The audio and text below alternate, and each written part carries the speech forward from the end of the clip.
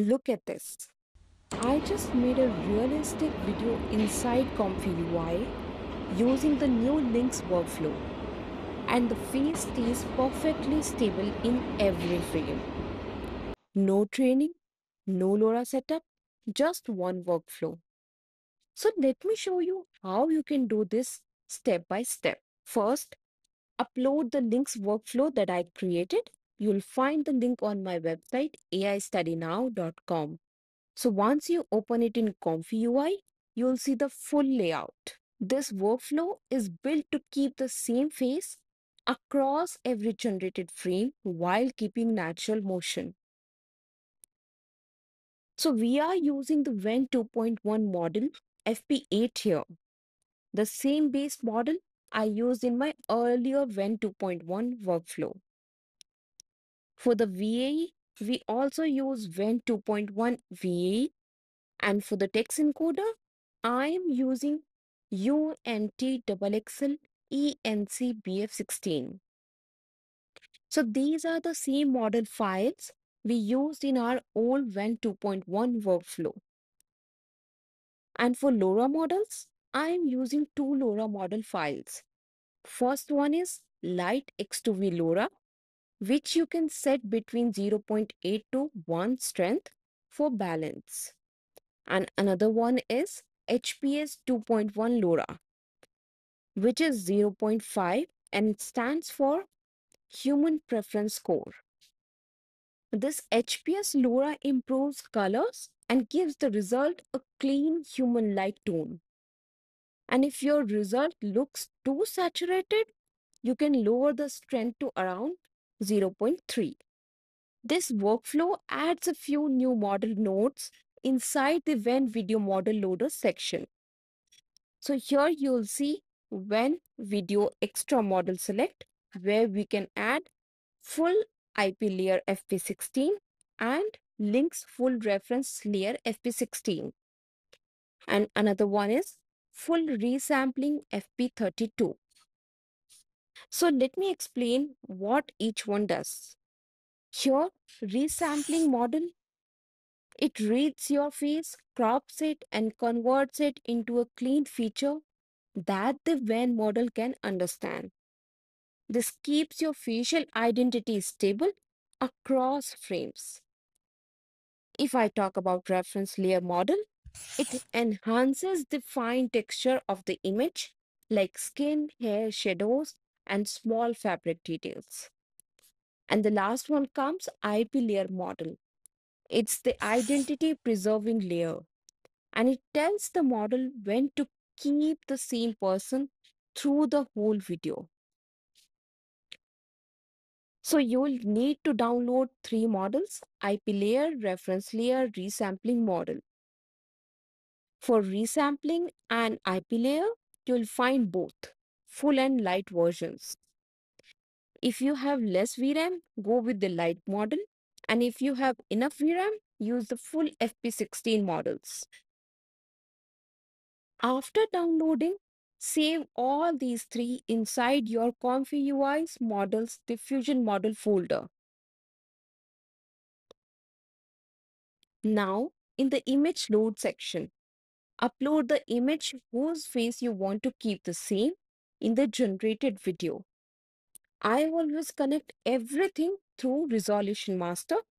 This keeps all images in the same size. Select one of the Wan supported presets for best results. Now what's new in this model is a node called Wan Video Add Lynx Embed. Inside it, you will find two key things. IP scale and reference scale. So these are the settings. IP scale controls how strongly the system preserves the same face. If you set it too high, the expressions may freeze. So a good value is between 0.6 to 0.7.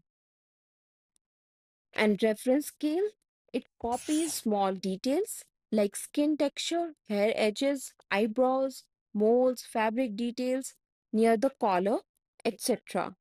If I talk about CFG, The Lynx CFG scale controls the overall motion strength.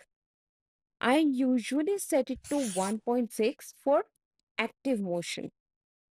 And if you prefer natural movement, go for 1.4 to 1.8. Above 2, motion starts to look unnatural. So I won't recommend that. Start percentage tells Lynx when to start working during denoising and end percentage tells it when to stop. So a good ending value is around 0.9. You'll also find a test node where you can add your image and prompt. Everything else works the same as in Wan 2.1. I also added a simple duration calculator section. If you want a 5 second video at 24 fps, just enter those values. The system automatically calculates the correct number of frames. You can change it to 16 seconds or 30 fps if needed. Right now, Wan ports up to 5 second clips, so I am using that length. So if I talk about example, uh, in my first example, I want to create a cozy cafe scene. So here is my prompt for this first example. A person sits beside a large window in a cozy cafe. City lights blur and shimmer through the steady rain outside. They glance at their phone and laugh with someone off screen. And here I hit run. And you can see the result. The face is a 100% match with our reference image. The motion follows the prompt perfectly.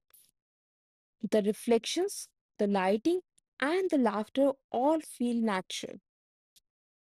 In my second example, I want a rainy platform scene. So here my prompt is a close-up on a rainy platform at night. The person faces the camera, closes their eyes, and feels the wind as a train passes behind. When I hit run, the video looks incredible. The face remains identical to the reference image. The wind motion feels real, and the colors have that perfect cinematic grade. If your reference image has special features like a tattoo near the eye and you want them to stay, so here is what you can do. Go to Wan video add Lynx embed and set reference scale as 1. This keeps every small detail like skin texture, posture, eyes and tattoos exactly the same. If you want the AI to modify the look slightly, reduce reference scale 0.8 to 0.9. That gives a bit of creative variation while keeping identity stable. So that's how you can use Lynx in Comfy UI to generate realistic videos with a consistent face. So that's all for today's video. If this helped you, subscribe to the channel for more Comfy UI tutorials and updates.